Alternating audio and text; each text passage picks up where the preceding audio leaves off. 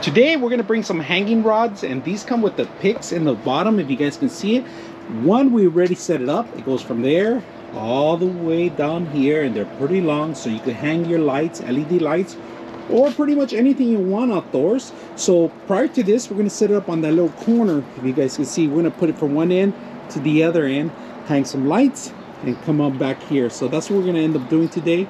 Hanging some lights out here. It's a little dead. We need to put in some vibe here, put some new grass, but we want to make, make it look pretty too. LED lights outdoors. So that's what we're gonna do tonight. So let's go ahead and start the process. But prior to that, we're gonna set one up together. If you guys can see it, they come in three different formats. So you do need to put this piece on the bottom here, and then the middle piece. Then the middle piece opens up here, if you guys can see that, and then so forth. So we're gonna go ahead and set it up.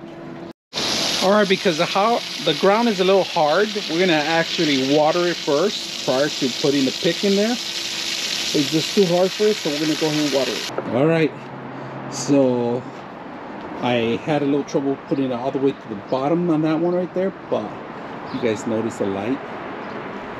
I grabbed onto that one, got one corner, went to the other one, and back to the wall. That's where I'm gonna put it from. So we'll come back at night, see how beautiful it looks.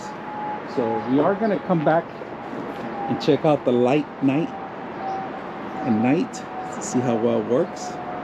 So I like this. If you buy a couple more, you could add them all through your yard too. So let's go ahead and come back at night.